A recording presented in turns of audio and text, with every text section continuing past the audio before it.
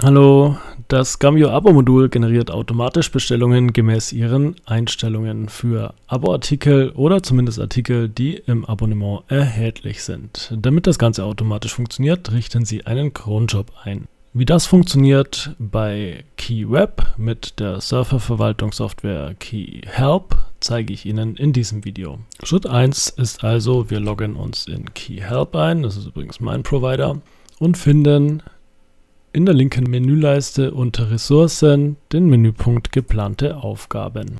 Hier hatte ich schon die Gambio Standard Cronjobs eingerichtet, wie in diesem Video zu sehen. Nun geht es aber um das Abo-Modul und wir klicken auf Aufgabe hinzufügen. Die Aufgabe soll natürlich aktiviert sein. Als Beschreibung zwecks Wiedererkennung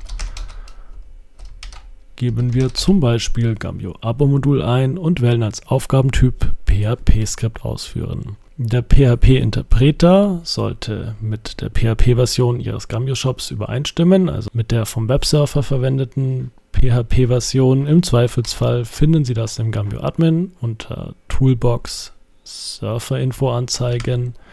In diesem Fall ist es PHP 7.3. Den PHP-Skript-Pfad finden wir im Gambio Admin unter Abonnements, Abos konfigurieren.